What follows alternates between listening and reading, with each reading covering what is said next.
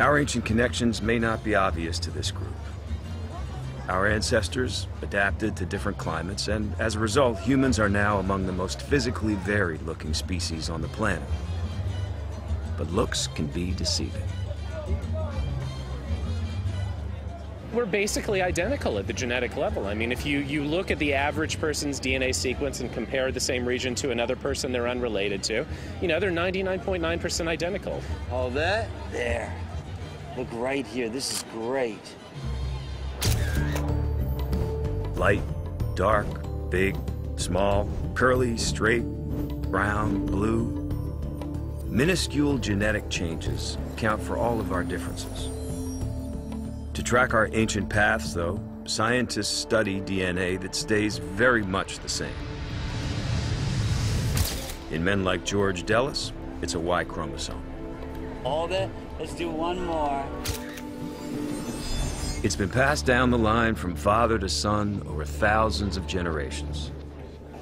And ultimately traces back to one man who lived in Africa around 60,000 years ago.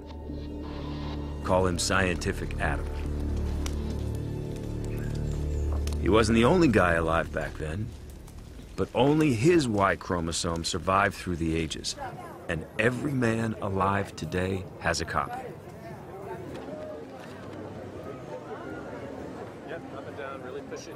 For women like Nejla Demirji, the DNA comes from special cell structures called mitochondria, which both men and women carry, but only moms pass along. These trace back to one woman who also lived in Africa between 150 to 200,000 years ago. Call her Scientific Eve. She is the oldest root of our family tree. Africa is where the journey begins for everyone alive today. Ancestors. And it could take us a big step toward Adam. Wells noticed that Jefferson's Y chromosome mutations don't look European. So where did Jefferson's ancestors come from? To find out the truth, Wells needs another DNA sample. Everything about Jefferson points to him being European. Genealogists have traced his ancestry back to medieval France and Britain. But the test reveals something you might never have imagined. Jefferson's Y chromosome links him not to Europe, but to the Middle East, what is now Lebanon and Syria. This is the best guess. A direct ancestor who lived in a land that no longer exists, called Phoenicia. The Bible calls it Canaan.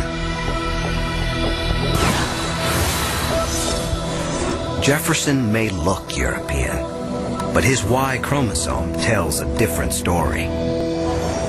It shows that what we look like may not really tell us where we come from. And it raises a question mark over the traditional image of Adam. For centuries, artists have depicted him like this, like a European.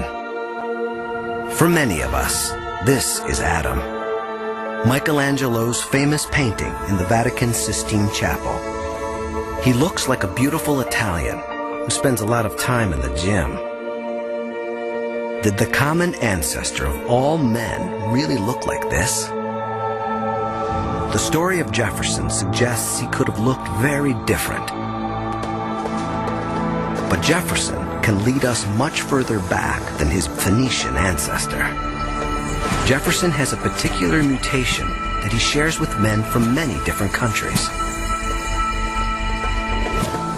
With the same techniques used on Genghis Khan, Wells can link this mutation to another critical common ancestor. He's known as M9. He lived around 40,000 years ago. Wells' research suggests this one man could be the forefather of half of all men alive. We're getting closer to Adam. But Wells knows there are some men who do not have the M9 mutation. To identify the common ancestor of all men, he must take us deeper down the tree. Where does he go next? Fossil evidence points to three regions that could be the birthplace of humankind. Asia, the Middle East, and Africa. Can DNA resolve which one gave birth to scientific Adam? Here lead to a common ancestor for all these ethnic groups. They could lead us to Adam.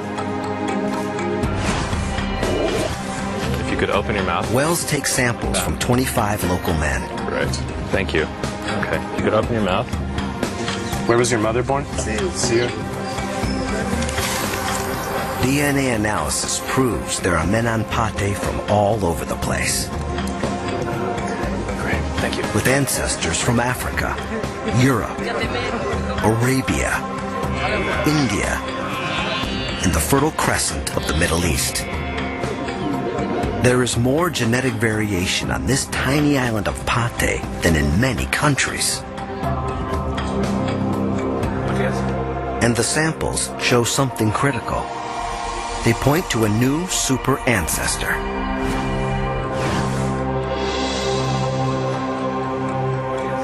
Even though the Y chromosomes come from all over the world, they almost all have something in common.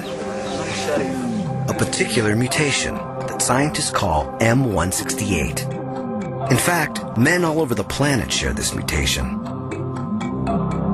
Genghis Khan and the San Francisco Mongolians have it. Thomas Jefferson has it.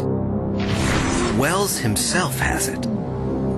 Nearly 3 billion men share this mutation and it means they're all descended from one man.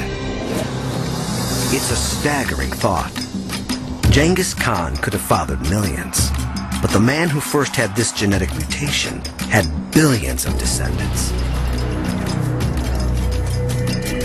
We're near the bottom of the tree. Could this man, M168, be Adam? There's only one problem. On the Kenyan island of Pate, Spencer Wells found one man who doesn't fit. His Y chromosome doesn't have the critical mutation. It's a crucial clue. And he's not the only one. There are others who are not descended from M168. So he can't be Adam. M168 is far down the tree, but not its base. And the Y chromosome from the odd man out on Pate gives us the final piece of our puzzle. The man's lineage originates in East or South Africa. Comparing this Y chromosome to thousands of men from all over the world reveals a critical discovery. These mutations, originating in Africa, appear on every Y chromosome in every man in the world today. These are the universal mutations we've been looking for. We followed the DNA trail all the way to the bottom of the tree. Every branch leads to one man, one Y chromosome. There must have been one man gave rise to all men alive today. He is the ultimate super ancestor. He is scientific Adam. One of his descendants was M168. He was the forefather of the ancient Middle Eastern ancestor of Thomas Jefferson. He gave rise to Genghis Khan's Y chromosome. In fact, all the Y chromosomes in the world trace back to this one African man. He is scientific Adam.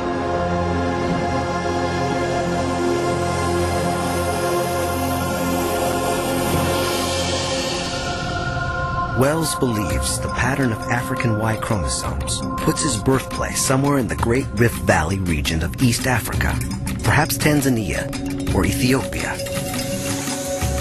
He thinks this is scientific Adam's homeland, his Garden of Eden.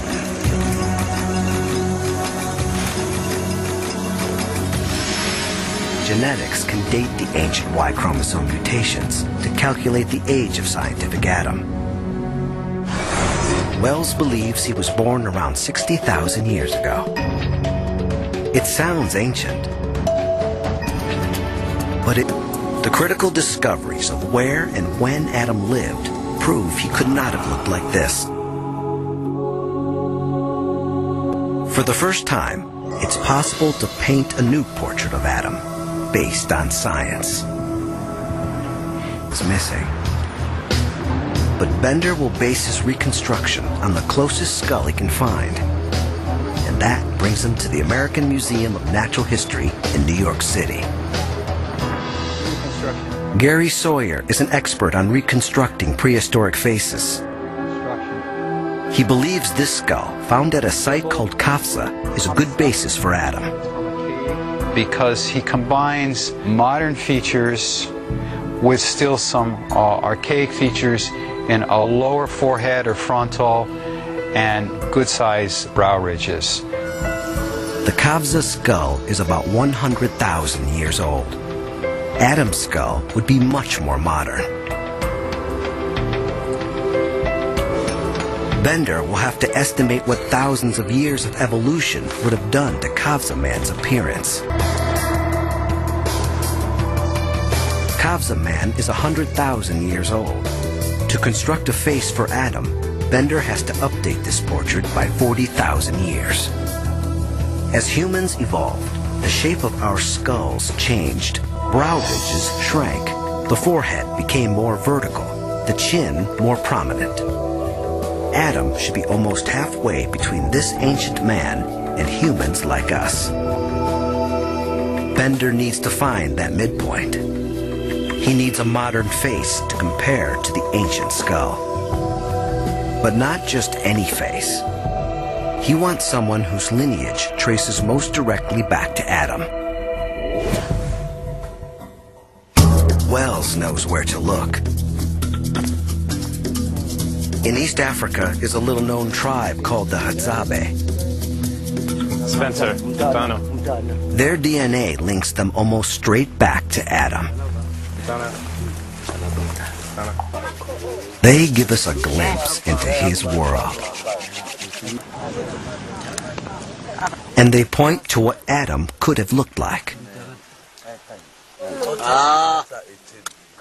Scientific Adam should be a midpoint between the ancient Qafzeh face and one of these faces.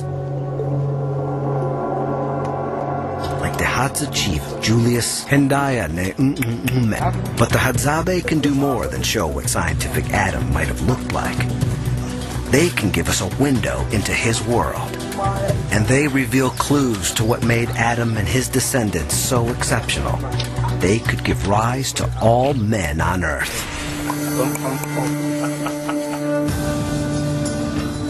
Mutations on the Y chromosome show that scientific Adam was born around 60,000 years ago. Their speech is far more complicated than most modern languages, and that suggests it's been around for much longer. English has around 30 different sounds. Click languages can have over a hundred. Scientists believe that when humans first began to speak, they may have used clicks like these. We could be listening to Adam himself. Like the bow and arrow, these sounds are simple, but they may. Now Frank Bender can show us what he might have looked like. His goal is not just to sculpt Adam, but to reveal his personality. I tried to get into his head just like I would a fugitive.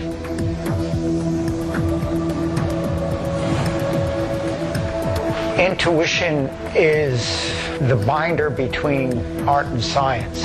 It's the part that pulls it all together and gives it that life, that spark. I picture him very much alive and with a lot of the basic feelings that we have today. Confidence one point, insecurity at another. Finally, Wells comes face to face with the man he's been searching for. A new portrait of the common ancestor of every man today. Adam.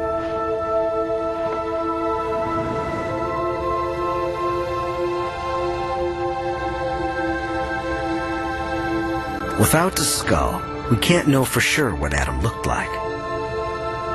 But a combination of genetic evidence, Bender's forensic skills, and cutting-edge computer software suggest he looked something like this. Thousands of years after the Bible, and hundreds of years after Michelangelo, we have a whole new face for Adam. I like the expression. He's got a very forceful look. You know, he's intent on something, maybe taking over the world. You know, you begin to get perhaps an insight into why these guys won out and why this guy's our ancestor. Science can't tell for sure what set Adam apart. There were other men who lived alongside him. But over the centuries, all the other men's lines died out. Maybe some had only daughters, or no children at all. Their Y chromosomes were lost forever. Only Adam's lineage survives.